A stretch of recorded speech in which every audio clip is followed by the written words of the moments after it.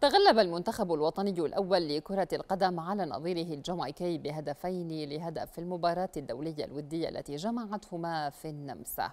وتأتي هذه المباراة على هامش المعسكر التدريبي للنشامة في أوروبا تحضيرا للنهائيات الآسيوية وتصفيات كأس العالم.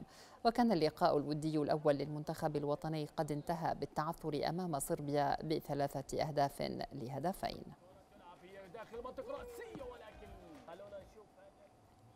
يستعد المنتخب الوطني للجودو للمشاركة في دورة الألعاب العريق العربية والتي ستقام في الجزائر خلال الفترة من الخامس وحتى الخامس عشر من الشهر المقبل. المنتخب يواصل بقيادة المدرب محمد خلف تحضيراته المكثفة من أجل الوصول إلى الجاهزية البدنية والفنية المطلوبة ويسعى النشامة للحصول على أولى الميداليات الذهبية في البطولة العربية حيث سبق للمنتخب الفوز بميداليتين فضيتين وثلاث ميداليات برونزية.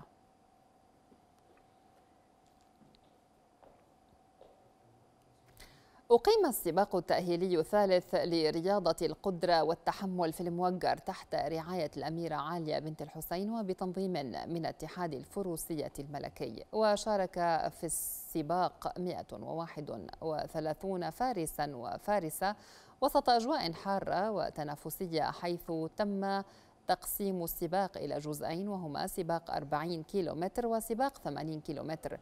وتمكن من إنهاء السباق قرابة الخمسة وثمانين فارس وفارسة. سباق تأهيلي لل 80 كيلو ولل 40 كيلو. شارك معنا اليوم 131 فارس وفارسة 52 على ال 80 كيلو و 79 على ال 40 كيلو. طبيعة الجو اليوم كانت حارة شوية فكان عندنا شوية انسحابات أو بسبب العرج أو بسبب المغص اللي بيصير عند الخيل. كشفت تقارير صحفية عن اقتراب نادي النصر السعودي من التعاقد مع اللاعب المغربي حكيم زياش لتدعيم صفوف الفريق في الموسم المقبل.